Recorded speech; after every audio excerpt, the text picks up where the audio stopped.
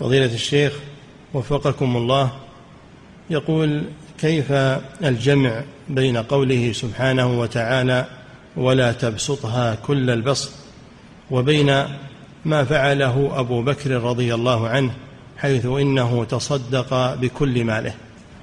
هذا عند الحاجة تصدق بكل ماله عند الحاجة. أما إنه يخرج مال كثير وهو ما هو بوقت حاجة هذا منهي عنه. نعم.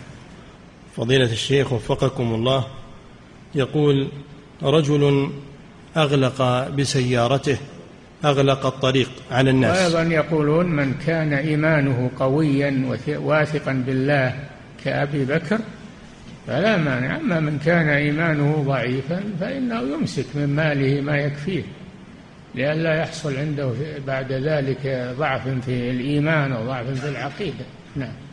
منه مثل أبي بكر رضي الله عنه. ما أحد مثل أبي بكر في الإيمان. نعم. إعداد مشروع كبار العلماء بالكويت أعزها الله بالتوحيد والسنة.